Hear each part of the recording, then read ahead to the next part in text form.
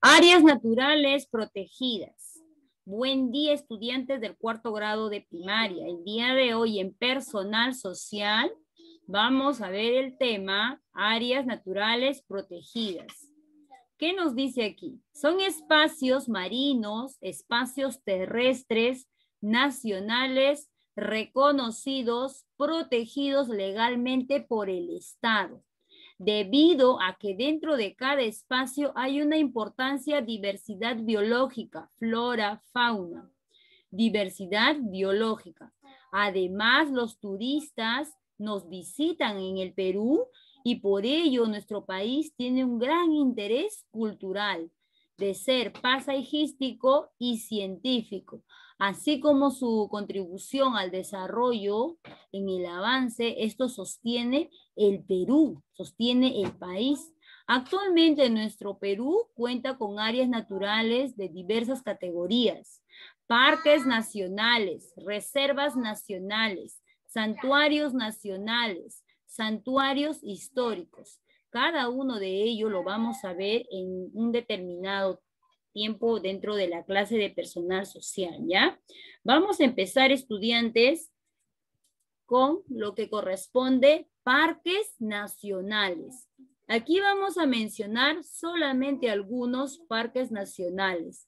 Se encarga de la protección estricta de flora, fauna y paisajes naturales.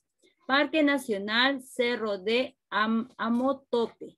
Copien en su cuaderno situado en Tumbes, en Piura, tiene bosques, fauna y destaca porque ahí está el cocodrilo americano. Parque Nacional de Cutervo, situado en Cutervo, Cajamarca, conserva aquí buenos bosques eh, con una buena flora, fauna que se caracterizan por su paisaje. Parque Nacional de Tingomaría, que está situado en Huánuco, conserva una gran flora, fauna. Aquí se encuentra como en piedra la Bella Durmiente. Además de esta región se encuentra la caverna de la Lechuza. Parque Nacional del Río Abiseo, ubicado en el departamento de San Martín, conserva flora, fauna silvestre. También encontramos complejos arqueológicos, como Huaraz, Gran este, Pajate, y en parques que se conserva el mono choro de cola amarilla. Huáscarán, situado en Ancash, comprende una gran parte de la cordillera blanca, conserva la flora, la fauna, entre las especies que más destaca es la puya de Raimonde.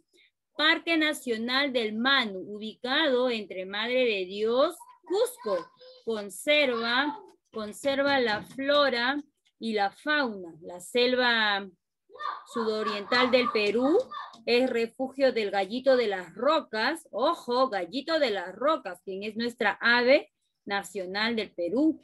El mono choro, el jaguar, el oso de anteojos, entre otros. Estudiantes, aquí hemos mencionado solamente algunos parques nacionales que tiene nuestro Perú porque en sí es una gran diversidad, seis parques nacionales que podemos escribir en nuestro cuaderno de personal social, ¿ya? En la otra clase vamos a ver los santuarios históricos, a los parques que nos complementan según la diversidad biológica, ¿no? Que nos indica acá, parques nacionales, reservas nacionales, santuarios históricos y santuarios nacionales. ¿ya? Hoy vamos a reconocer estos parques nacionales y anotar en nuestro cuaderno de personal social.